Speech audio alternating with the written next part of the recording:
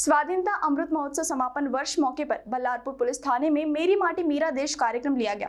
Ballarpur police station के माध्यम से आयोजित कार्यक्रम में विद्यार्थियों की तिरंगा रैली निकाली गई। स्वाधीनता अमृत महोत्सव समापन वर्ष के मौके पर बल्लारपुर पुलिस थाने में मेरी माटी मेरा देश कार्यक्रम लिया गया।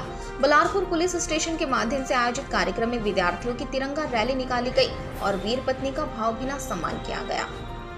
तिरंगा रैली में साई बाबा ज्ञानपीठ और तिलासा ग्राम के छात्र छात्राओं ने बड़े ही उत्साह से भाग लिया। कार्यक्रम की अध्यक्षता तहसीलदार डॉक्टर कांचन जगताप ने की। इसमें तहसीलदार डॉक्टर कांचन जगताप के हाथों वीर पत्नी एकता नितिन घोड़मारे का शॉल एवं श्रीफल देकर सत्कार किया गया। कार्यक्रम में प्रमुख अतिथि के रूप में थानेदार उमेश पाटिल, एपीआई शैलेश ठाकरे, पीएसआई चेतन टेम्भुर ने हुसैन शाह, सलीम शेख एएसआई विश्वजीत चंदेल, रवि चेपुलवार, लोमेश नायडू आदि उपस्थित थे। सेवानिवृत्ति पर सम्मान सत्कार किया गया। कार्यक्रम का संचालन श्रीनिवास सुंचुवार ने किया, जबकि आभार प्रदर्शन शैलेश ठाकरे ने किया।